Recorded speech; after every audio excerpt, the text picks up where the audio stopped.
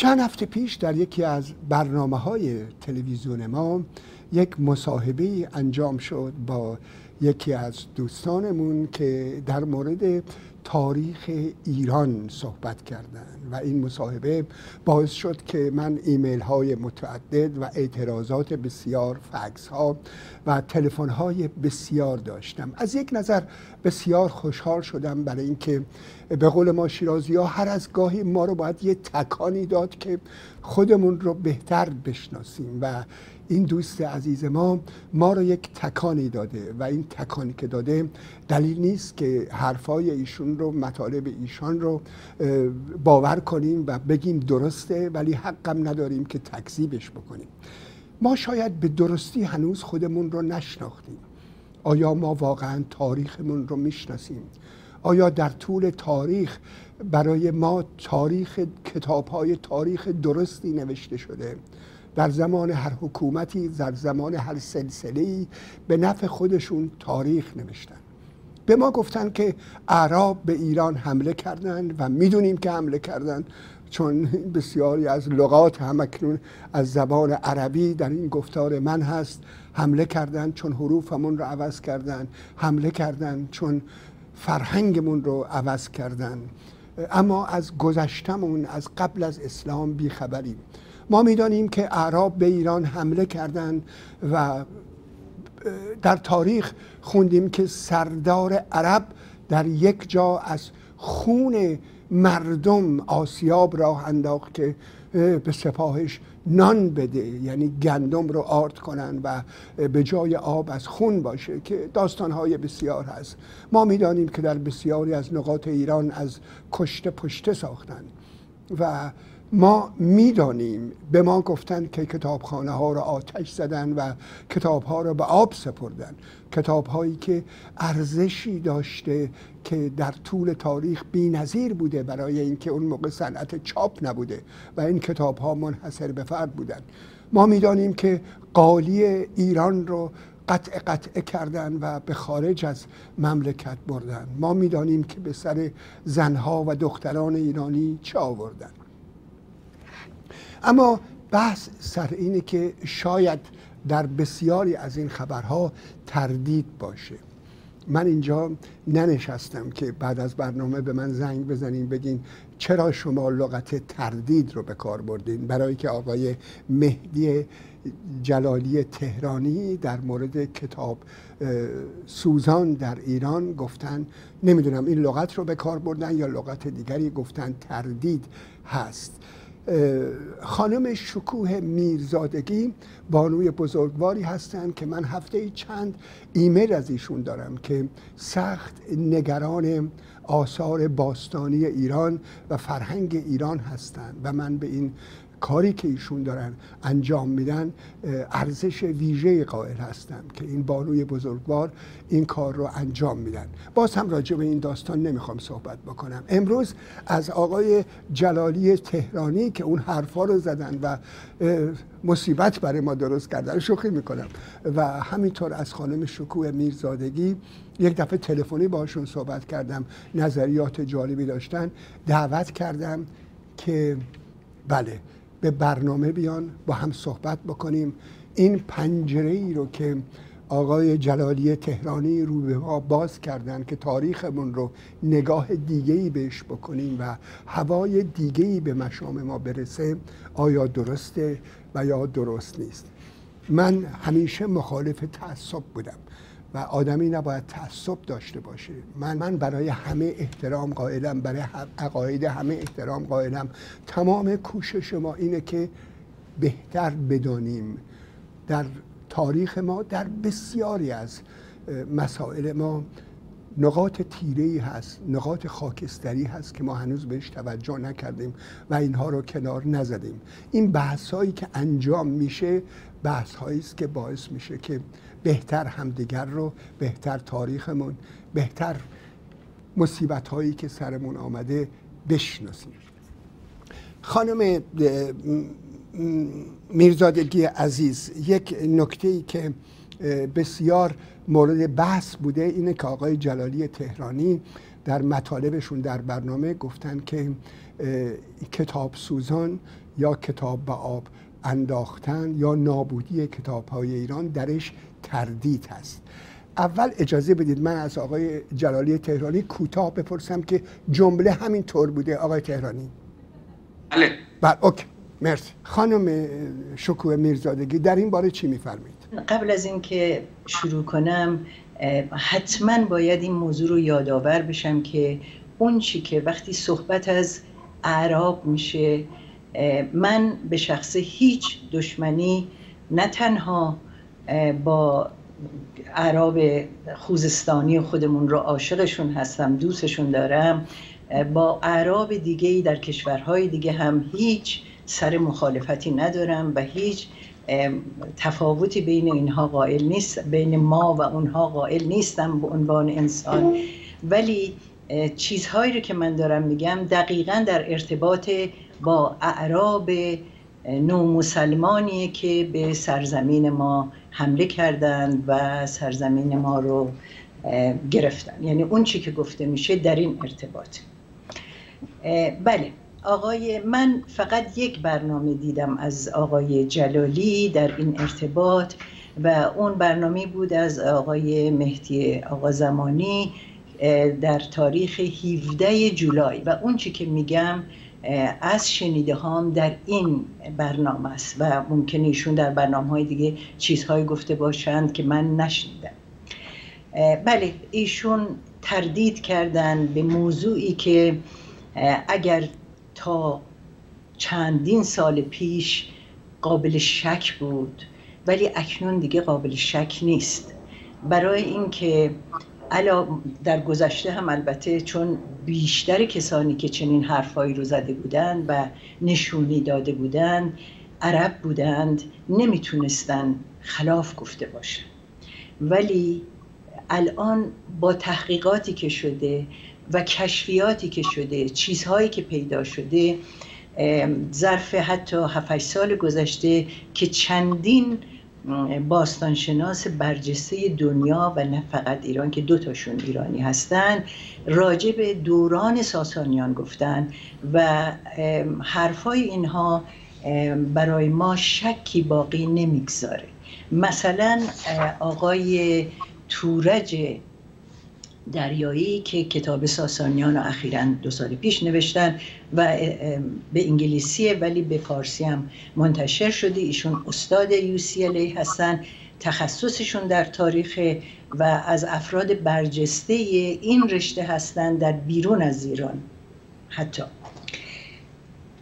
من من دلم می‌خواد فقط یه تیکه رو که ایشون میگن در این مورد بگم. ایشون میگن ما مدارکی داریم یعنی دارن با سند حرف می‌زنن که گویاست هنگام حمله عرب دیوان دولتی در تیسفون آتش گرفت. ولی متاسفانه ایشون اظهار نظر خودشونو میارن که این اظهار نظر مال ایشونه نه سند و مدرکی نیست. ایشون میگن اما به نظر نمیآید که به عمد انجام گرفته باشد. هر جنگی و خشونتی گهگاه منجر به نابودی اسناد و مدارک و اشیا می شود. برای مثال حمله آمریکا به عراق باعث شد که بعضی از موزه ها کتابخانه های آن نابود شود ولی نمی‌توان گفت که آمریکایی ها عمدن این کار را کردند. ایشون در جای دیگه میگن که از سوی ما اطلاع داریم. که در اطلاع داریم یعنی سند و مدرک بیا یک کسی که شخصیت اکادمیکه وقتی میگه اطلاع داریم یا مدارکی داریم در دستش اینها. در خارزم اعراب کار بسیار عجیبی کردند و دست به کشتار مغان و تعدادی زیادی از نجبا و سوزاندن کتابهایشان کردند و حالا باز از خودشون میگن که با اینکه این واقعه همیشه به عنوان مثال بر آنچه عرب بر سر ایرانیان آوردن پیش کشیده شده ولی از کارهای معمول نیست. خواستم بگم در این مورد شکی وجود نداره که عرب کتاب های ما رو سوزوندن ولی حرف ایشون در جایی از اون مصاحبه این بود که ما چی داریم چیزی نمونده کدوم کتاب اگر لازم شد من جواب ایشون رو با لیست کتاب ها البته لیست کتاب ها رو من فرستادم بله بله. بله بله. که اینها بعضیش در دوران ساسا... یعنی از دوران ساسانیان باقی مونده بعد برخی هم بعد از یکی دو سال پس از حمله, حمله عراق اینها رو بازنویسی کردن بله. ممنونم ازت خب بله. آقای مهدی جلالی تهرانی عزیز مطالب ایشون رو شنیدید و اجازه بدین که خواهش بکنم ازتون در این باره توضیح بفرمایید.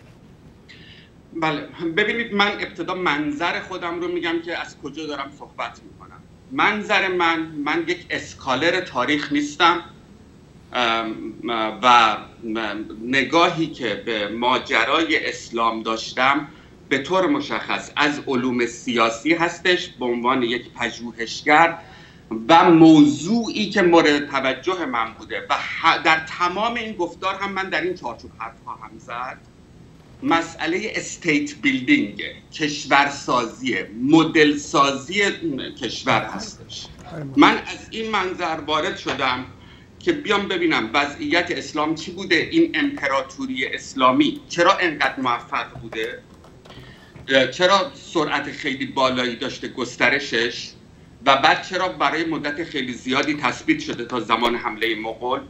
و بعد چه شکلی این مدل آمده در امپراتوری عثمانی خودش رو تکرار کرده؟ و حتی می‌تونم بگم امپراتوری اسلامی یا عباسی که به حال به عنوان در غرب به عنوان امپراتوری اسلامی و اسلام امپراتوری عربی شناخته میشه.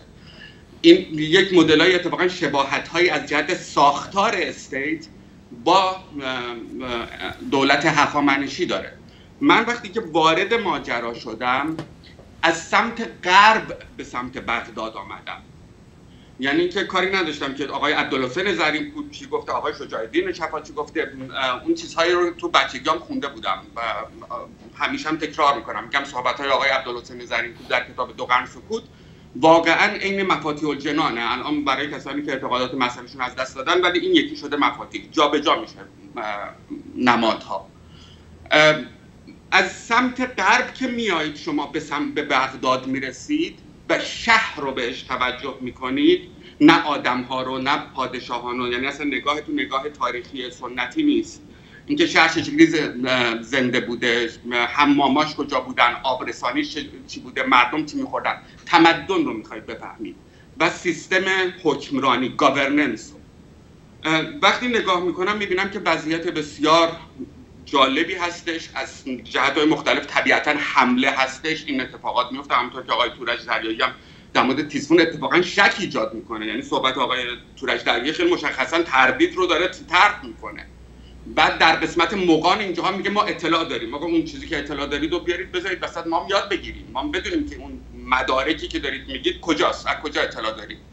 ممکن هم هستش باشه. ولی ما وقتی رفتار اعراب رو در غرب داریم نگاه می‌کنیم یعنی در غرب شبه جزیره در امپراتوری بیزانتین در تمدن شرق خاور مدیترانه داریم نگاه می‌کنیم چنین چیزایی نمی‌بینیم.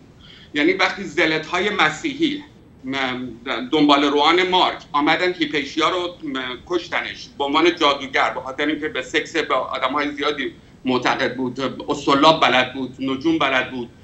دانش داشتش. یک زن سیاستمدار هستش و در اسکندریه در واقع حاکم هستش. زلت ها میکشنش. کتابخونه اسکندریه رو میسوزونن. شهر رو به نوعی نابود می‌کنن. همون قدی که کتابخونه احتمالا مونده عرب ها که وقتی میان شروع می‌کنن کتاب ها رو ترجمه کردن. اصلا اون نهضت ترجمه یا جنبش ترجمه که حدود 100 سال 150 سال بعد اتفاق میفته در زمان معمون شروعش از کجا بوده؟ منابعشون از کجا بوده؟ منابع کتاب مثلا افلاتون رو از کجا تو اینا ترجمه کردن؟ از تو کتاب خونه اسکندریه در آوردن. یعنی اینا مونده بوده. در ضمن من این رو خیلی اعتقاد ندارم که کتاب های ما مثلا فقط یک نسخه بوده. اگر هم کتاب های ما فقط یک نسخه بوده و در یک کتابخونه از بین رفته این هم خیلی چیز پیشرفته ای نیستش. چرا کتاب کتاب های تمدن آتن یک نسخه نبوده؟ چند نسخه بلد بودن نسخه؟ ما بلد نبودیم این کارو بکنیم؟ اجازه بدین آقای آقای یه سوال دارم ازتون. فاصله بین زمانی که اعراب به ایران حمله کردن و این حملاتی که شما از در مورد اروپا و این حرفا می‌زنین فاصلش چقدر بوده؟ چند سال بوده؟ ببینید از زمان معاویه شروع میشه. وقتی که اسلام از شبه جزیره عرب میاد بیرون دو تا بال پیدا می‌کنه. خب این واقعیتیه که ما از زمان معاویه داریم می‌بینیم. میره به سمت شام. میره به سمت شام کجاست؟ شام نیویورک امروزه. به این خاطر که در مرکز امپراتوری بیزانتینه روم شرقی. وقتی میره به شام با سرعت خیلی زیادی در حدود دو دهه حداکثر می‌رسه به کوردوبا می‌رسه به اسپانیا. از طرف دیگه از سمت شرق مقدار بیشتر طول می‌کشه در واقع بخش ایرانش. تا زمانی که به نیشابور اینجا می‌رسه. بعد شما در حدود 200 سال بعد البته ولی این رشد زمینه هاش وجود داشته. دو تا متروپولیتن می‌بینید. کوردوبا رو در اسپانیا می‌بینید نیشابور رو در شرق می‌بینید. دقیقا در قرن ده که بالاترین شکوفایی ایرانی اونجاست بذارید آقای کاردا من یک چیزی هم اشاره بکنم. ما دعوامون سر اعراب حمله اجازه بدید. بفرمایید آقای تایران من می‌خوام که مبحث رو اشتباه نکنیم. من حمله اعراب و این اتفاقی که اون لحظه ده سال اول افتاده اصلا موضوع من نبوده. در برنامه من موضوع نبوده. موضوع من تمدن بوده. من میگم بالا می‌خوام بالاترین شکوفایی تمدنی ما ایرانی ها بعد از اسلامه. اصطلاحا میگن که همیشه در مورد تمدن ها میگن کانتریبیوشنش به بشریت چی بوده؟ چه سهمی به بشریت داده؟ ما بیشترین جایی که سهم به بشریت دادیم یعنی علم رو رشد دادیم در قرن ده میلادی سه قرن بعد از اسلام در دو امپراتوری اسلامی داریم زندگی می‌کنیم. اونجا بیشترین رشد تمدنی رو من میگم در تمدن ایرانی تمدن ایرانی 2500 سالش هم نیست. تمدن ایرانی 50000 سالش. بله. خاطر اینکه هوموسپین ها اومدن. در طول تمدن ایرانی اوجش بعد از اسلامی خانم میرزادگی من تا اونجایی که می‌دونم مثل اینکه هفتاد سال بعد اون موقعی که عرب اول به ایران حمله کردن با هم صحبت کردیم. نزدیک هفتاد سال بعد رفتن اون طرف. به حال یه خود متمدن تر شده بودن. برای که اعرابی رو که ما الان در تاریخمون خوندیم و باید بیشتر بخونیم و به حرف همه گوش بکنیم یه چیزایی مثل همین داعشی ها بودن که الان وجود دارن. که می آمدن همین الان وقتی که شهرهای عراق رو گرفتن اول آثار باستانی رو خراب کردن.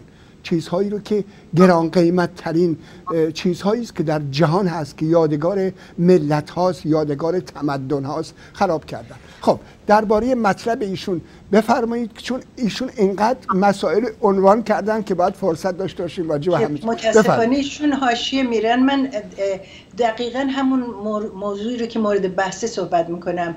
ما پیامبر اسلام 632 فوت کردن. 633 حمله به ایران آغاز شد. یه چیز حدود 18 20 سال طول کشید. البته مقاومت 300 سال برای اینکه مذهب اسلام رو نپذیرن بین 300 تا 400 سال طول کشید. ولی جنگ بین همون 18 جنگ رسمی که تا یزدگرد فوت می‌کنه حدود 18 سال طول می‌کشه. یعنی سال 651 ایران رو می‌گیرن. بیزانس بیزانس که ایشون انقدر تاکید می‌کنن در سال 674 جنگ شروع میشه و 771 تموم میشه. جنگ اول مال ایران رو خلفای راشدین یعنی کسانی که سربازانش قبایلی بودند قبیله بودند مدنیت نداشتند تمدن نداشتند وارد شدن اشاره خوبی کردین یکی از متخصصین تاریخ آلمان اخیرا مقایسه کرده بود. من الان اسمش به خاطرم نیست. مقایسه کرده بود گفته بود که من همیشه حیرت می‌کنم که چطور ساسانیان با اون قدرت شکست خوردن. حالا که داعش رو می‌بینم تازه متوجه میشم که جنگ بین جهالت و تمدن بوده. در مورد بیزانس خلفای یعنی بنی امیه میان. یعنی کسانی که پیشرفت کرده بودن کسانی که در ایران آموخته بودن. ایشون از ترجمه صحبت می‌کنن. ترجمه رو ایرانی ها شروع کردن. اصلا سن...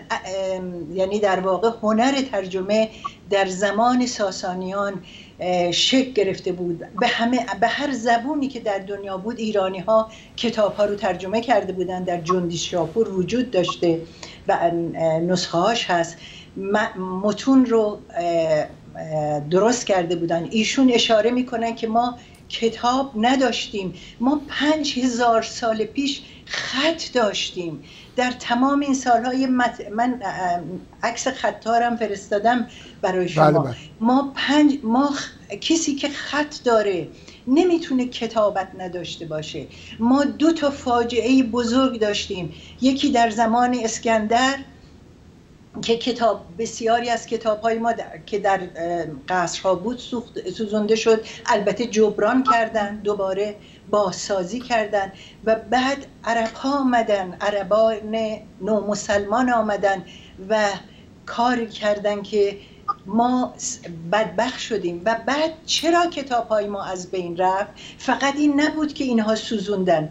زبان ما رو بعد از یک صد تغییر دادن. ما رو وادار کردن که به زبان دیگری صحبت کنیم. تمام کتاب های ما رو به زبان عربی منتشر کردن ترجمه کردن. و سبب شد که مجازات داشت. کسی که به زبان فارسی حرف می‌زد که به زبان پهلوی در واقع همون فارسی اون زمان حرف می‌زد مجازات داشت. بیهوده نیست که الان میگن که زبان مادری رو یونایتد نیشن تأکید می‌کنه بر مهم بودن زبان مادری. زبان مادری رو از ما گرفتن. ما رو وادار کردن چند پنج قرن به عربی صحبت کنیم به عربی بنویسیم به عربی بخونیم. کتاب همون از دست رفت تنها کتابایی که برای ما مونده کتاب های مذهبیه. اون هم برای اینکه موقعا اونها رو در پستوهاشون در کوههایی که وجود داره تو سو قارها اینها تونستن اینها رو نجات بدن و برسونن. بقیه هم دارن کشف می‌کنن در سال گذشته کشف شده. من باز کوتاه می‌کنم سخن رو برمیگردم چون ایشون از این سخنان بسیار گفتن در اون صحبتاشون خوشبختانه امسا این این بار هم دارن همونها رو تکرار می‌کنن. زحمت من رو برای تکرار اونها کم می‌کنن. ممنونم ازتون. یکی راجع به زرتشت شما فرمودید و ما همیشه می‌دونیم که کلامی رو که ایشون داشته گفتار نیک پندار نیک و کردار نیک یکی از زیباترین مسائلی است که ما به ارث بردیم و از زرتشت داریم. شما لغت پریمیتیو رو در مورد زرتشت به کار بردید همینطوره؟ نمی‌دونم چه صحبتی بوده. ببینید من به طور کلی وقتی دارم به ادیان نگاه می‌کنم با عنوان ادیان در یک زمانی تمدن سازن یعنی وقتی که شما هنوز کشور نداری گفتم مدل من مدل state building ازش خارج نمیشن وقتی شما هنوز کشور ندارید در واقع ادیان میان نظم اجتماعی به شما میدن. و برای کشورداری می‌کنید. حالا البته بیشتر توی ادیان تک خدایی ما این رو می‌بینیم. در ادیان تک خدایی داستان فرق می‌کنه. زرتوش رو به عنوان یک دین قدیمی تر بله وقتی شما آموزه هاش رو نگاه می‌کنید ابتدایی تر primitive تر کما اینکه یهودیت نسبت به اسلام primitive تر هر چقدر برید عقبتر مسائل مردم مسائل اندکتری بوده. موضوعات اجتماعیشون نیازهاشون قوانینی که باید مذهب میگذاشته. state نبوده دیگه دولت مدرن که نبوده. مذهب باید قوانین میگذاشته که نظم اجتماعی شکل بگیره. در دوران یهودیت چهار هزار سال پیش زمانی که تورات و نویسا شروع کردن نوشتن یا در مورد زرتوش بله وضعیت مردم ابتدایی تر بوده. بنابراین نیازها کمتر بوده. شما می‌بینید که ادیان شاعرانه تر هستند تا اینکه بخوان قوانین بگذارن این وجود داشته بله. لغت primitive رو به کار بردید. primitive به معنای ابتدایی بله. ما هر چقدر یک دین رو به عقب تر بریم نسبت به بعدیش primitive تر محسوب میشه بسته به زمانش. چون مردم پریمیتیو تر دارن زندگی می‌کنن. نه ببینید به هر حال اون دین مال اون زمانه. ما امروز نباید بهش نگاه بکنیم. یعنی امروز اگر بخوایم امیدوارم دوستان عزیزمون که هر, هر آینی دارن ناراحت نشن. اون چرا که الان می‌بینیم هر کدوم از این ادیان رو الان بخوایم برای زمانمون مدرن بکنیم مواجه با اشکال میشیم. تا, تا اونجایی که میگن ببینید وقتی که بگن که این کلام خداست همین مشکلی که ما الان در ایران داریم. برای که نمی‌تونیم این اسلامی رو که آخوندها دارن میان وقف بدیم با زمانمون با زندگی امروزمون. گرچه اونا پای کامپیوتر نشستن و نمی‌دونم خیلی مدرن شدن اینا ولی اون مسائلی به قول شما پریمیتیو یا که مال زمانه خودشون هست الان درد سرسازه بسیاری از نکاتی که ده هست مثل همین ارسیه و غیره و مجازات و دست زدن و خب یه موقعی زندان نبوده زمان پیغمبر کسی که دزدی می‌کرده دستشو می‌زدن. من نمیگم درسته یا غلطه. یعنی به یه جایی رسیدیم. می‌دونین چی می‌خوام بگم؟ بفرمایید خب، شما مثل اگر اجازه بدید من یه نکته اینجا بگم. ببینید ما هر چقدر اتفاقا این نظر بسیار مهمیه. ببینید من حرفا رو در مورد تاریخ نمی‌زنم. هدف من موضوع امروز و هشدار خواهم داد نسبت بهش که چرا این مسائل مهمه. من تاریخ شناس نیستم. مسئله من سیاسته. اما ببینید مشکل اصلی ما در مورد اسلام هم همینه. خیلی این رو اشتباه می‌کنم به خصوص اصلاح طلب ها وقتی که اسلام رو مدرنش بکنی خطرناکش کردی. وقتی اسلام حالت سنتیش باشه خطرش کمتره. در مورد دین زرتشت هم زیبایی دین زرتشت به این هستش که دقیقا پریمیتیوه یعنی شاعرانه است حرفها حرفهای زیبایی به مسائل جزئیات زندگی تو نمی‌رسه. حالا بخشی که خرافی هم توش داره رو خیلی قبول دارن درست. ولی به مسائل زندگی تو نمی‌رسه. یک احساس خوبی بهت میده. دقیقا همین که اشاره کردی چیزی که ازش مشهور هستش پندار نیک و گفتار نیک و کردار نیک این احساس خوب رو میده. پس این اتفاقا یه تئوری بسیار مهمه که ما هر چقدر دین رو در شرایط سنتی خودش نگه داریم امکان زیست مدرن باهاش بیشتر ممکنه. آقای خمینی یک نوگرای دینی بود. این رو باید بفهمیم. سنتی نبود نوگرا بود. اینا معتقد بودن که رسول الله حکومتش رو برقرار نکرده. خمینی می‌گفت اصلا ما تکمیل کردیم کار رسول الله. این جملهشه. من در واقع مذهبم مفاد اعلامیه حقوق بشر. ولی به تمام مذاهب احترام می‌ذارم. هیچ مشکلی با کسانی که باورمند به مذهبی هستن نیستم. ولی کسانی که می‌خوان توجیه کنن مذهب رو به عنوان یک امر سیاسی و به عنوان یک کار سیاسی با اونها مخالفم چون به بشریت لطمه می‌زنن و به حقوق بشر. اما در مورد زرتشت فقط کافیه بگم که زرتشت 600 حدود 660 سال قبل از میلاد به دنیا آمد. بعضیا میگن هزار سال ولی به هر حال قبل از میلاد بوده. قبل از تمام این پیغمبران چارگانه بوده. ولی ایشون حرفایی رو که زده ما فقط گات ها رو اگه نگاه کنیم برخلاف نظر آقای تهرانی جلالی تهرانی بسیار پیشرفته تر امروز با امروز خاناتر از آنچه که فرزن در قرآن وجود داره نه اینکه حتی آخوندها که میگن که اونا که دیگه خرافاته. ولی از قرآن هم بسیار پیشروتره. برای اینکه در اون اولین چیزی که بر اون ذکر می‌کنه میگه که خدای ما اهورا مزداست ما تنها خدایی که داریم خدای خرده اهورامزدا به معنای خدای خرد. و بعد در همین گاتاها اگر که من توصیه می‌کنم چون آقای تهرانی گفتن هیچ اطلاعی ندارن از زرتوش توصیه می‌کنم بهشون فقط برن نگاهی به گاتها بکنن و با نگاه امروزین و با نگاه سیاسی حتی نه با نگاه ابتدایی به قولیشون نگاه کنن ببینن چقدر پیشرفته است. و من این رو به عنوان پیامبر زرتوش رو نگاه نمی کنم کمان که جهانیان هم او رو به عنوان یک خردمند نگاه می‌کنن. من زرتوش رو نماینده یکی از زیباترین نمایندگان فرهنگ ایرانی می‌دونم. و به همین دلیل اون چیزی که ایشون در مورد مقایسه ای میگن در مورد زرتشت مذهب زرتشت یا زرتشت با ادیان دیگه من به طور کلی به خاطر همین دلایل رد می‌کنم. چون وقت نیست. من می‌تونم مواردی رو حتی بخونم از گاتا براتون که ببینید چقدر این مرد پیشرفته بوده. خب اولا یک تصویر رو داریم که خانم شکوه میرزادگی فرستادن از رافائل در سال بله. 1500 1500 بله از زرتشت. یک تصویر خیالی کشیدن از زرتشت و بسیاری از بزرگان ادب در اروپا از زرتشت یاد کردن و در این باره نمی‌خوام با شاید باید برنامه داشته باشیم. بله این کار رافائله. این نقاش 1500 اجازه بدید آقای جلالی تهرانی. شما مثل اینکه فرمودید که ما فقط کوروش رو داشتیم و در زمان کوروش هم اتفاقایی که گفتن قطعی نیست. در این باره با حساسیتی که ما روی کوروش داریم که دردسر شما برای من درست کردین و اینها شوخی می‌کنم. بفرمایید که این حرف رو اینطوری زدین یا مقصود دیگری داشتین.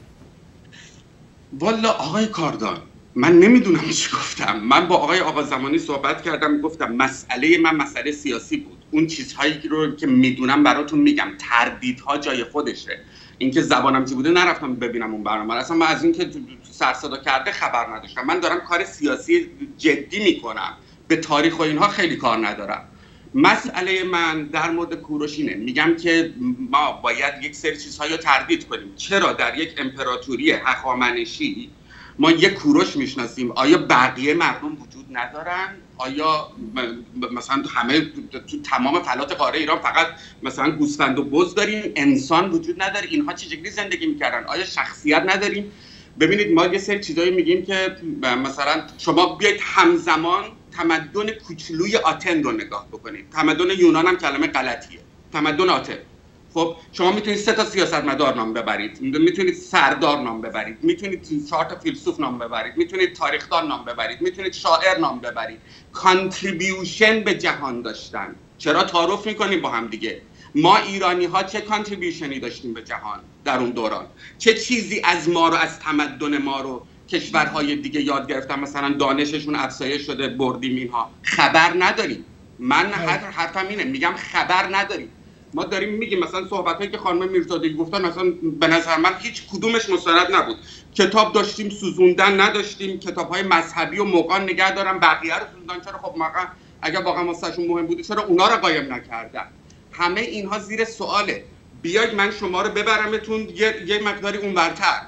توی ترکیه وسط ترکیه کنار قونیه چاتا هویوک یک شهر یازده هزار سال پیش تا نه هزار سال پیش اونجا وجود داشته. الان شما می‌دونید مردم چی میخوردن. یعنی اولین شهر جهان محسوب میشه تا اینجا. دست ترکیه است. ما در حال که احتمالا احتمالا ما زیر خاکمون گنجینه های بزرگتری هستش ولی خبر نداریم. چهار تا کتاب می‌خونیم اونم کتاب هایی که کاملا شاعرانه نوشته شده. چرا تعارف می‌کنیم؟ بیحقی شما بشینید بخونیدش. تمام این چیزهایی که سند ما هستش. احساس می‌کنید تیاتریکال نوشته شده نمایشنامه. پشت پشت پشت آدم کشته شده. جوی خون. خودتون مثال زدید. آسیا دیوانه بوده طرف. مثلا آسیا رو با خون بگردونه. جای دیگه تو دنیا دیدیم همچین اتفاقاتی. حتی مغول رو هم داریم بیخود میگیم. مغول ها اینطور نبود که آدم یه گالمه بکشن. مغول ها سیستم آبرسانی شهرها رو از بین بردن شهر رو نابود کردن. خیلی وحشتناکتره تا اینکه ما تیاتریکالش بکنیم موضوع رو. برگردم فقط چاتاهویوک رو دو سه تا جمله بگم. چاتاهویوک شما می‌دونید مردم فاضلابشون کجا بوده؟ غذاشون چی میخوردن؟ بوتاشون چی بوده؟ معبدشون چه بوده؟ خیابانشون چی بوده؟ یازده هزار سال پیشه. اپیدمی چی بوده مرض می‌گرفتن چه, چه وضعیتی پیدا می‌کنن ما هیچی نمی‌دونیم در مورد گذشتمون مسلما تمدن بزرگی بوده. خب آثارش رو داریم یه جورایی می‌بینیم. ولی با یک سری خیالات با یک سری نوشته های غلط که 200 سال 300 سال یا بسیار بد درست شده فقط به اونا داریم استناد می‌کنیم و نگاهمون به اون نوشته ها نگاه قرآنیه. انگار که وحی منزل آمده و داریم می‌خونیم و هیجان زدن میشیم چیزایی که نوشتن خیلی تئاتریکاله. ممنونم ازتون. خواهش می‌کنم در مورد مطالبی که آقای جلالی تهرانی گفتن نظری داریم بفرمایید. بله بله. مشکل اینی که همطور که خود آقای جلالی گفتن ایشون نه تنها تاریخ رو نمی‌دونن بلکه هیچ علاقه هم به خوندنش نداشتن و به خوندن خبرهایی که حتی در همین دوران معاصر آمده. ما الان کتابی داریم که خانومی به نام مری کوخ آلمانی نوشته به انگلیسی هم ترجمه شده و خوشبختانه به فارسی هم ترجمه شده با یه تغییراتی. ولی این کتاب دوران داریوش رو توضیح داده و این رو رو خیالاتش توضیح نداده مثل خیالاتی که بعضی ها دارن. این رو دقیقا از روی اسناد یعنی از روی نوشته های کتیبه هایی که مال آرشیو دوران هخامنشی بوده و در آتش سوزی تخت جمشید روی گلها نوشته بوده پخته شده و سی هزار کتیبه بوده. راجع به زندگی روزانه مردم ایران راجع به تغذیهشون راجع به مهد کودک هایی که در اون زمان بوده در کنار کارگاه های کارخانه ها و ادارات. راجع به حقوق زنان راجع به تعداد کارگران راجع به چیزهایی گفته من توصیه می‌کنم به ایشون که حتما برن این کتابو بخونن. این کتیبه ها کجاست خانم میرزادگی ما هم داریم.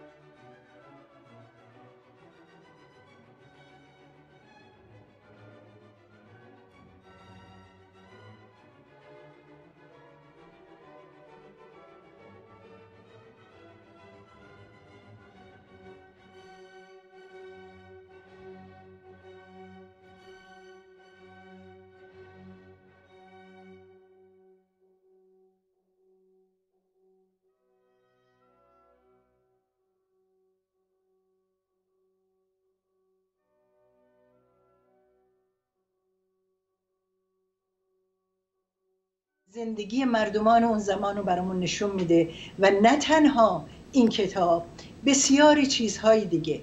ما من الان این بخ نیست خیلی علاقه دارم راجع به اون چیزهایی که ما داشتیم و اسلامی اعراب مسلمان طبق کاری که درست جمهوری اسلامی هم همین کارو می‌کنن. تاریخ زدایی کردن و بعد مصادره کردن تاریخ ما رو توضیح بدم. که چگونه اون چی که ما داشتیم به نام اعراب تموم شد. اولا خانم میرزادگی من پیشنهاد می‌کنم به شخص من حمله نکنید. شما میگین که من تاریخ نخوندم. از کجا می‌دونید؟ من این جمله رو گفتم تاریخ نخوندم. گفتم مسئله من من scholar تاریخ نیستم. برای کار state building باید تاریخ میخوندم. گفتید گاتا رو نخوندم. از کجا می‌دونید شما؟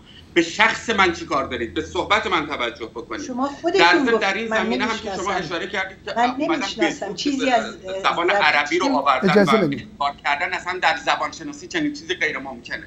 زبان مردم رو نمیشه به زور اینجوری عوض کردش. این هم زیر سوال هستش. حالا می‌تونیم برسیم به بخش بعدی برنامه. آقای کاردار ایرانی های عزیز ما شنیدیم اعراب ما رو کشتن. پشت پشته. ما جلوی چشممون نسل ما. 6 سال دیدیم بچه عرب کشتیم. ما کشتیم ما ایرانی ها کودک سوری کشتیم. یه نیم میلیون کشتیم. انتقاممون رو گرفتیم. حالا راحت شدیم. حالا خاطرمون جمع شد. بس نیست دیگه. مسئله ما اینه که این ریشه این که 6 سال جلو چشم. ببینید رواندا بود جنگ جهانی دوم بود ولی مردم عدد تو روزنامه میخوندن. ما جلو چشممون در دنیای ویدیو دیدیم کودک کشته شد. ما کودک رو دیدیم توی حمله شیمیایی پرپر زد. چرا؟ از کجا اومده؟ از جهالت ما و ناسیونالیسم ما آخوندا استفاده کردن. شما فکر می‌کنید آخوندا طرفدار عربن؟ خمینی شدیدا ضد عرب بود.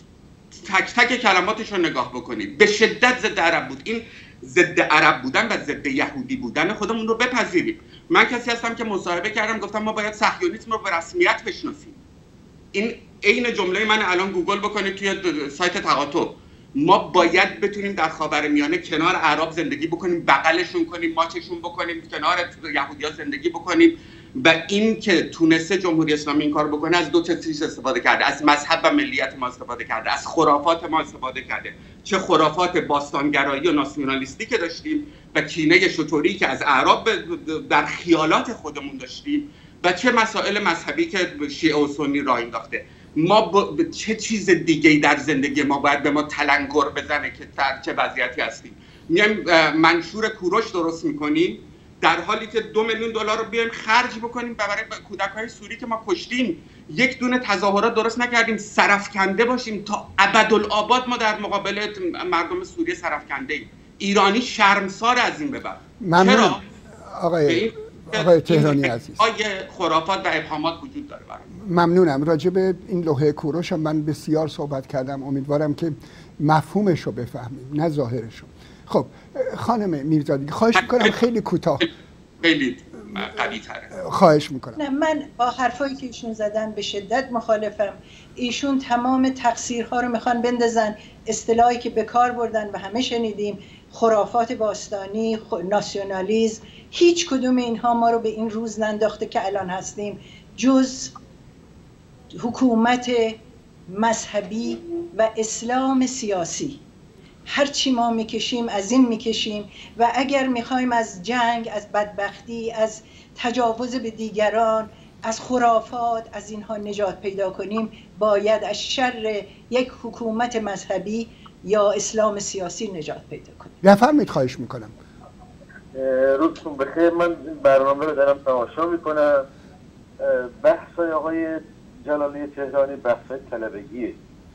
توی سوریه ایران که مردم ایران باشن اونجا دخالت نکردن. حکومت ایران که دخالت کرد و کشتار خود عربا کردن. چرا گردن ایرانی میندازن. ممنونم ازتون. تا همینجا ممنونم. در مورد تاریخ هم این کتاب زبان داروش رو که خانم میرزا گفتن من خوندم برن مطالعه کنن تمام جزئیات زندگی ایرانی ها توش قید شده اون توی شوشتر اون تقسیم آبی که اونجا صورت گرفته که یک شاهکار معماری مهندسی در سوش ما فاضلاب داشتیم لوکشی آب داشتیم تصفیه خونه آب داشتیم. همه اینا ذکر شده اینا رو نهیده می‌گیرن. ممنونم ازتون شهر سوخته رو شهر جیروف رو بله بله. شهر دقیانوس رو. ممنونم از این مطلبی که یادآوری. کردین. اجازه بدید با خط بعدی صحبت کنم. مرسی. مرسی قربون. بفرمایید خواهش می‌کنم. جناب کاردان درود بر شما. درود بر شما. بفرمایید. وقتی که جناب عالی متخصصین رو میارید بعضی موقع برای ما یه سوالایی پیش میاد. من فقط یه سوال کوتاه از ایشون دارم. بفرمایید. ایشون بفرمایید رشته تحصیلی ایشون چی بوده؟ در چه حد بوده؟ آیا از موقعی که گراجویت شدن در رشته تحصیلی خودشون ادامه دادن یا کار دیگری می‌کردن؟ مرسی قربانه تشکر از لطفتون ممنونم. من من این سوال از ایشون نمی کنم برای اینکه اصلا این مسئله نیست. من انسان ها رو همین الان که حرفاشون وجود داره میپذیرم. من آدم هایی رو دارم که باری از مدرک روی دوششونه ولی متاسفانه شاید حرفایی رو می‌زنن که آنچنان. بفرمایید خواهش می‌کنم. مهمان محترم دو چیز مختلف رو میگن. هیچ دلیل نمیشه که ما اگر می‌خوایم بگیم ناسیونالیست هستیم یا می‌خوایم بگیم که در اون زمان چه بوده؟ اولا بگین اگر در پرسپولیس کتیبه هایی به دست آمد که نشون می‌داد زنها و با مردها همه یک حقوق گرفتن. همه این بله، کتیبه. ها که به دست آمد نشان دهنده طریقه زندگی اون زمان ها بوده. و ایشون اگر میگن چیزی نیست ما هیچ کس از تخیلاتش این مسائل رو در نیاورده. در ضمن ایرانیا قبلا قبل از جمهوری اسلامی با اه، اختلافی نداشتن و همیشه شیعیان کنار سنی ها زندگی کردن بدون هیچ مسئله من, من در فامیل خودم شیعیان ازدواج کردن با سنی ها اصلا این مسائل وجود نداشته ممنونم. مسئله مرسی. ایشون اینه که آقای عزیز شما جمهوری اسلامی و مذهب مذهبی که جمهوری اسلامی به وجود, به وجود آورده فرق می- می‌کنه با تمام اه، مذاهبی که در کنار ایران در کشورهای اسلامی وجود داره وقتی مثل طالبان ممنونم. اجازه بدید خانم. اجازه بدید من خیال می‌کنم که الان بعد از این برنامه الان صحبت کردید که ما باید چه بکنیم چرا جنگ کردیم و اینا اینا مسائل ایران نیست. هیچ کدوم مردم ایران راضی به جنگ کردن در سوریه و یا در کشورهای دیگه نبودن. خواهش می‌کنم مردم ایران رو حک- حکومت جمهوری اسلامی با کسانی رو که خودشون اجیر کردن از از کشورهای بدبخت به اونجا فرستادن یکی نکنید. شما چشم. مسائل قاطی کردید. خواهش می‌کنم. مردم مرسی ببخشید معذرت می‌خوام. برای اینکه اگر اینطوری بخوایم جلو بریم بفرمایید خواهش می‌کنم. بفرمایید. آقای جلالی ما کودکان سوری رو کشتیم. منظور ما چیان؟ مردمه یا سیاست های دولت جمهوری اسلامی؟ و چه رفتی به مردم داره که اسم ماها رو میارید؟ میگیم ما کشتیم ما اه، گناه کردیم. و قرار ما با کدوم کشوری جنگ بکنیم؟ جز اینکه این آرزو خود جمهوری اسلامی که بعد کشورها رو داره انگولک می‌کنه. ممنونم قربون. اجازه بدین که من به ایشون جوابتونه بدن بفرمایید خواهش می‌کنم. بفرمایید. درگاه ها سوای که اندیشه میگفتار نیچه داره می‌کرد فلسفه راستی و هنر خردورزی است. و کسی که کار فرهنگی و تاریخی و سیاسی نکنه هیچی نمی‌دونه به در ضمن اینا من به شما بگم. مطمئنا بدانید که راستی فلسفه اشور زرتشت است. راه در جان یکی است آنم راستی است. خداوند جان خرد و اندیشه راستی که از اندیشه راستیش نه تو نه تازی نه عرب نه نمی‌دونم کمونیست نه اتحاد سیاه نه از ایرانی را برتر نخواهد بکند ممنونم از تلفنتون بسیار. بفرمایید خواهش می‌کنم. با درود فراوان به شما و مهمانان شما. من همیشه فکر می‌کردم چون واقعا آقای جلالی تهرانی رو من دنبال می‌کردم و فکر می‌کردم که همیشه به صورت سیستماتیک و پیوسته مسائل رو بررسی می‌کنن.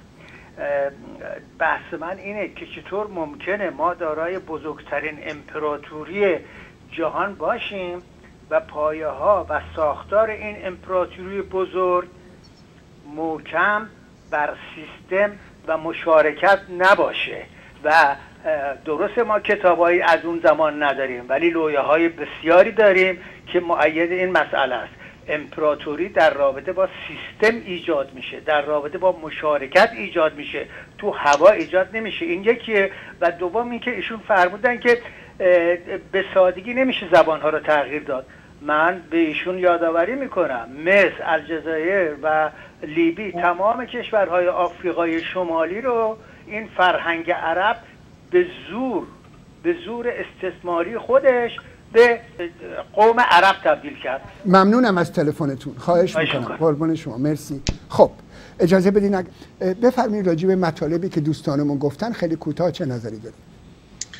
بله. من, من حالا به حال تحصیلاتم در دانشگاه برکلی و کلمبیا هستش. من هم تدریس کردم هم به خصوص در بخش در, در think tank ادیان و دولت اصلا کار کردم و از اونجا شروع میشه که پژوهش هایی که دنبال کردم برای اینکه بشناسم ماجرای state building در خاورمیانه چگونه بوده.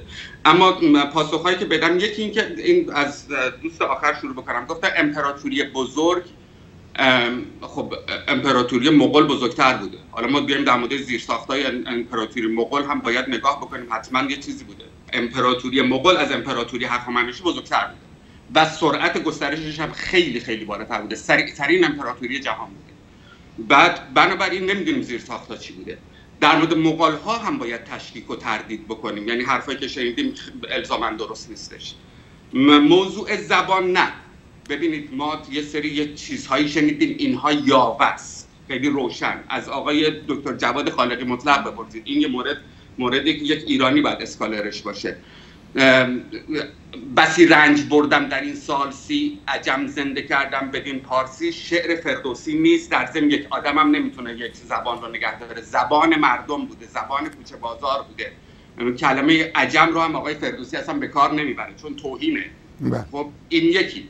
بعد بنابراین در زمان دقیقا در زمان فردوسی مردم به نسبت تحصیل کرده که با سواد بودن به سه زبان صحبت می‌کردن. زبان فارسی برای کوچه بازار برای شاعرانگی برای عواطفشون. زبان عربی برای علم به رقبت خودشون. آقای ابو علی مجبور نبوده زبان عربی به کار ببره. آقای ابو ریحان مجبور نبوده این آدم. شراب میخورده کنار قرآنش ولی به زور عربی می نوشته نه. و زبان ترکی هم زبان سیاست و قشون ما بوده. بنابراین سه زبانه بودیم. راحت. این بعدا اتفاق میفته یه چیزی در مورد سوریه هم اشاره بکنم و اون که نه این فرافکنیه. ما باید تقصیر رو بپذیریم. آیا ما یه تظاهرات را انداختیم تو این 6 سالی که دیدیم بچه کودک کشته شد که بگیم که حساب ما از حکومت جداست؟ آیا یه تظاهرات توی لس آنجلس صورت گرفت؟ وقتی منشور کوروش میاد همه جمع میشن. ولی یک تظاهراتی که بگیم آقا ما مخالف این موضوع هستیم. شما چرا اینو به من توی تلویزیون میگید؟ یا خانم میرزادگی یا هر کسی دیگه که در این مورد ما با هم قرار نیست حرف بزنیم. راست میگیم بلنشیم بریم جلوی سوری بگیم ما نبودیم. چرا این کارو نکردیم؟ قرار نیست با هم حرف بزنیم که. بگیم ما حسابمون با حکومت جداست. و حکومت هم این رو نمی‌تونید انکار بکنید. الان من دارم می‌بینم از پانیرانیستامون از کسای دیگه دارم میرم سراغ جواد ظریف و قاسم سلیمانی. قاسم سلیمانی سردار کودک کش شده قهرمان. به زودی اگر دعوای منطقه بیشتر بشه دایکاتومی دوگان سازی که یا با قاسم سلیمانی هستید شروع شده همین الان دارن توی سوشال میدیا استفاده می‌کنن. یا شما پشت قاسم سلیمانی هستید یا با آل سعود یا با عربا هستید. اینو دارن تو مردم جا میندازن جنگ روانی آتش به اختیار که شما از خامنه ای میشنوید فکر می‌کنید شوخی حسابشو کردن. ممنون. خواهش می‌کنم. سرکار خانم شکوه میرزادگی راجع به تلفن ها آقای کاردان من نمی‌دونم آقای تهرانی خیلی جوشی هن. همینطوری هم وسط حرفاشون تنه می‌زنن. من خوشم نمیاد اینجور برخوردها رو. من اعتراضم رو الان سی و نزدیک سی و نه ساله دیگه. سی و نه ساله به این جمهوری اسلامی از بالا تا پایین از فرهنگی. بله. من خودم رو جزو اپوزیسیون فرهنگی حکومت می‌دونم و هر جا لازم بوده اعتراض کردن. ولی اگر که برای منشور کوروش مردم میرن در اونجا هیچ ایرادی بهشون نیست. در ارتباط با ایرانی ها که داخل ایران هستن همین چند نفری که آمدن نشون میدن که چقدر رنجورن مردم از کارهایی که جمهوری اسلامی می‌کنه. ولی ضمنا از ترور اونها میترسن. از عملیات اونها میترسن و حتی حضور اونها رو در شهرهای مختلف از جمله در کالیفرنیا که پول پخش می‌کنن برای اینکه مردم رو در مسجدها و در جاهایی که مربوط به خودشون جمع بکنن.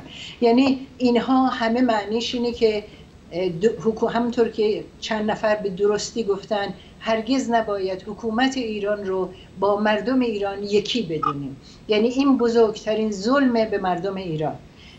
مردم ایران زیر همون شخصیتی هستن که کلمه آتش به اختیار رو گفته.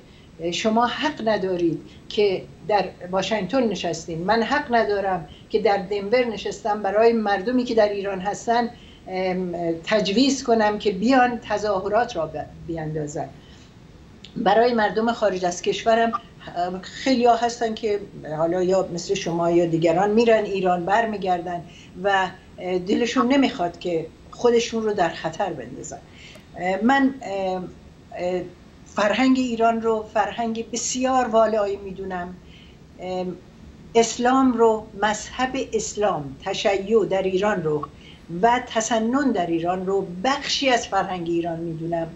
و هیچ نقشی برای اون جز این که بخشی از فرهنگ ایران قائل نیستم.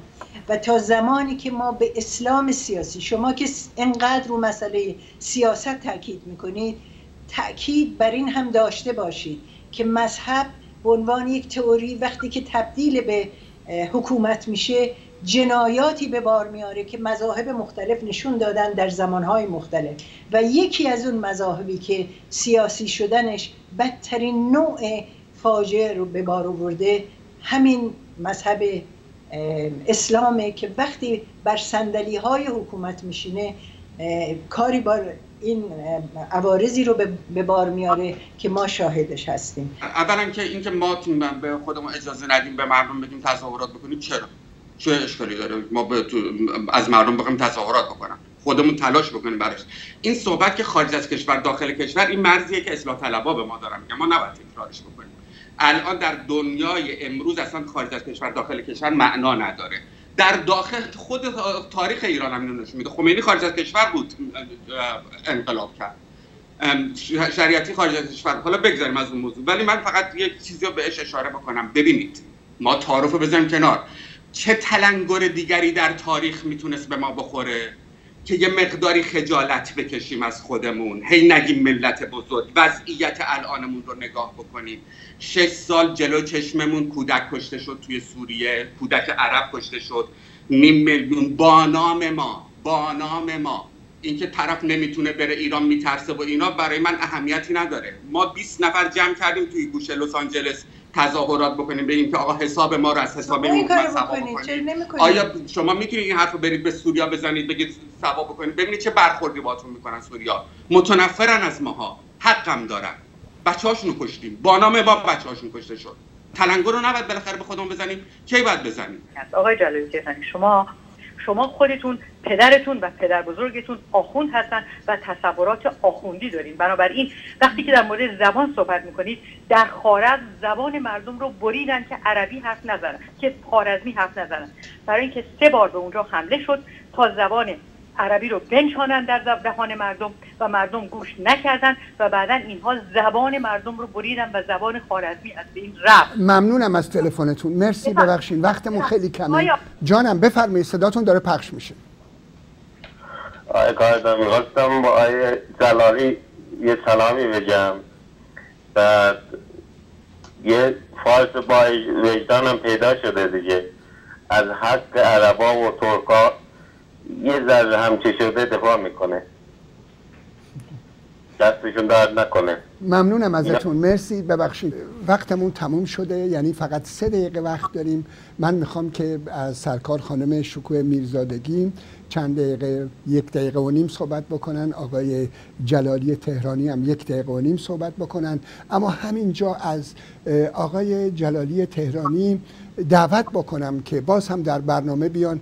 ببینید وحشت نکنیم از اینکه مردم احتمالا شاید با یه چیزی موافقن یا مخالفن. ما تا موقعی که حرف مخالفمون رو گوش نکنیم نمی‌تونیم بیاموزیم. و اینکه همه همدیگر رو تایید کنیم و قربون همدیگه بریم و قربون نمی‌دونم تاریخمون بریم و اینا به جایی نمی‌رسیم. اول شما خانم شکوه میرزادگی بفرمید خواهش می‌کنم. من آقای کاردن عزیز دلم می‌خواست که می‌تونستیم حالا شما می‌تونین در برنامه های دیگه با افراد دیگه راجع به دهش هایی که تمدن ایران فرهنگ ایران و کلا ایران به جهان داده برخلاف ایشون که معتقدن آقای تهرانی که ما هیچی نداشتیم که بدیم اینها باز هم همه ثابت شده ثبت شده هست که همین درست سه هفته پیش قنات های ما دوازده تا از قنات های ما که متعلق به دو هزار تا دو هزار تا سه هزار سال پیش بودن و اینها سیستم آبیاری رو چنان انجام می‌دادند که برای اولین بار بوده این یونسکو رو شناخته به عنوان میراث جهانی. این آثار هنوز وجود داره برخیش.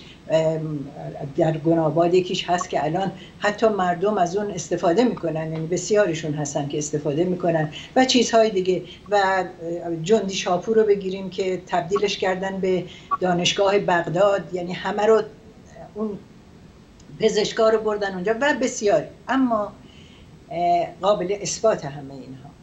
ولی مسئله بر سر اینه. من همونطور که گفتم عاشق عرب های سرزمینمون هستم. عاشق هیچ مشکلی هم با هیچ عربی در دنیا با هیچ نژادی در دنیا ندارم. ولی اینکه آدم فقط بیسته و از یک گروه مردم حمایت بکنه و بعد اون خانه خودش رو ندید بگیره در ایر شما دارین از بچه های بیگناهی که در سوریه کشته شدن میگین در عراق کشته شدن جمهوری اسلامی کشته میگین. در خود ایران ما میلیون ها بچه داریم الان از فقر و بدبختی دارن میمیرن. میلیون ها زن هزارها زن داریم که سیغه میشن گرفتار فحشای اسلامی شدن. فقر و فساد و بیچارگی اینها رو ول کردید. دارید راجع به همسایمون حرف می‌زنید از اینها هم اقلا حرف بزنید. من و بعد چرا خودتون بلند نمیشید؟ مگه شما در خارج نیستید؟ اعلام بکنید که فلان روز می‌خواین تظاهرات علیه جمهوری اسلامی به نفع بچه هایی که دارن کشته میشن در خارج و البته خواهش می‌کنم این را بنویسید که به نفع بچه ها و زندانی های سیاسی ایران و بسیاری چیزهایی که در ایران بی آبی که مردم داره نابود می‌کنه هم تظاهرات کنید. من قول میدم از هر کجایی بلند شم بیام در اون تظاهراتی شرکت بکنم که برای مردم ایران و برای مردم بیگناهی که جمهوری اسلامی قلع و غم می‌کنه شرکت کنم. ممنونم ازتون. مرسی آقای جلالی تهرانی. ما وقتمون گذشته ولی از اونجا که من مسئول تلویزیون هستم کسی منو توبیخ نمی‌کنه. اما خواهش می‌کنم خیلی کوتاه بفرمایید مطلبی رو دارین در آخر. بله من جمله آخر شروع بکنم. ما از سطح شاعرانگی گذشتیم. تظاهرات هم باید تا حالا گذاشته می‌شد. زمان زمان جنگ. ما الان میریم برای تغییر حکومت و برای گرفتن حکومت از دست آخوندا برنامه هم داریم داریم انجام هم میدیم. نسل جوان و حالا خبرهاش رو خواهید شدید به حال هر قدمی رو برمیداریم برای عقب نشینی حکومت. این از قسمت اول و به خصوص اینم اشاره بکنم از منطقم شروع یعنی دقیقا این شرمساری بزرگی که تو تاریخ برای ما ایرانی مونده باید جبران بکنیم. باید بریم سراغ مردم سوریه. ازشون عذرخواهی بکنیم. بگیم حساب ما رو از حساب حکومت سبا بکنیم. این وظیفه هر ایرانیه که انجام بده. این از این قسمت. در مورد ببینید همین الان ما از یک تلفنی رو فهمیدیم. یک کسی در ذهنش میگه که در خارزم زبان بریدن که مجبور کنه عربی. خب این همون ذهنیت اینجوری خرافی و با این افکار تیاتریکال کاملا نمایشنامه اصلا. آدم باید اینو بخونه. این میاد به امروز منجر به سوریه میشه. این رو باید ببینیمش همه فرافکنی نکنیم تمام تقصیرها رو بندازیم. حکومت جمهوری اسلامی از جنس خود ماست. گفتم آخوندا ضد عربن. خمینی ضد عرب بود. برخوردش رو با صدام نگاه بکنید. برخوردش با فهد نگاه بکنید. متنفر بود از عربا. این چیزهایی هستش که در درون ماست باید بریزه میشه بیرون و خوشداری که این اتفاقی که در زندگی ما 6 سال جلو چشمون افتاد باید این تلنگا رو به ما بزنه. ضمن اینکه من تمدن ایران رو زیر سوال نمی‌برم. این حرفا رو تمام در این برنامه توی دهن من گذاشته شد. من این سوال این حرفا نزدم. میگم تمدن ما از زمان الان ببینید الان بحث کتاب و تکتیبه نیستش که با چهار تا کتیبه دلمون رو خوش بکنیم. کمه. ما تمدن بزرگتری داشتیم. الان با دی ان ای دارن کار باستان شناسی می‌کنن. همون چاتوکاهویوک که دارم مثال می‌زنم سالها پیش متوقف شد الان مجدد دارن با آزمایش های دی ان ای تشخیص میدن. ما هیچ کدوم از اینا رو نداریم نمی‌دونیم در ایران چه اتفاقاتی افتاده. تمدن با شکوهی داشتیم. این یک قسمت. قسمت دوم. میگم در کل تمدن ما بالاترین نقطهش قرن ده میلادیه یعنی سه 300 سال بعد از اسلام همم به عربیه با عربا هستیم. در نیشابور ابو علی سینا می‌بینید ابو ریحان می‌بینید خارزمی می‌بینید همم هم یه زمانم فارابی می‌بینید با فاصله های بسیار کم. رازی می‌بینید راوندی رو می‌بینید. ببینید 300 سال بعد از بله. اسلام راوندی رو می‌بینید که 140 جلد کتاب و مقاله در رد وجود خدا و اینا نوشته. یعنی بخشش در این بوده ولی چیزی ازش نمونده. از اون طرف میگن که شورش های ما داشتیم چون بلافاصله من می‌دونم چه جوابی میدن. میگن که خب نه ایرانی ها تونستن بر علیه بغداد شورش بکنن و برای خودشون استقلال داشته باشن. نه. واقعیت اینه که چون به state building اتفاقا من توجه کردم می‌بینم که نه بغداد اتفاقا امپراتوری معتدلی داشته. کاری نه سرباز هیچ نداشت. 300 سال شما که عباسی ها رو می‌بینید سرباز جایی ندارن. هیچ جای دیگه شورش نمیشه. ممنونم ازتون. آقای تهرانی عزیز ببخشید. وقتمون حتی گذشته و ممنونم باتون تماس می‌گیرم که در برنامه های آیندم هم خدمت شما هم خدمت خانم شگوه میرزادگی باشیم. این بحث رو ادامه بدیم. از دوستانمون در تلویزیون تشکر می‌کنم. از هر دو مهمان عزیزم متشکرم. تشکر ویژه دارم از دوستانی که آمدن از طریق تلفن با ما صحبت کردن و عذرخواهی می‌کنم که نتونستیم تعداد بیشتری رو روی خط بیاریم. شبها و روزهای خوبی برای همه آرزو می‌کنم. به امید دیدار.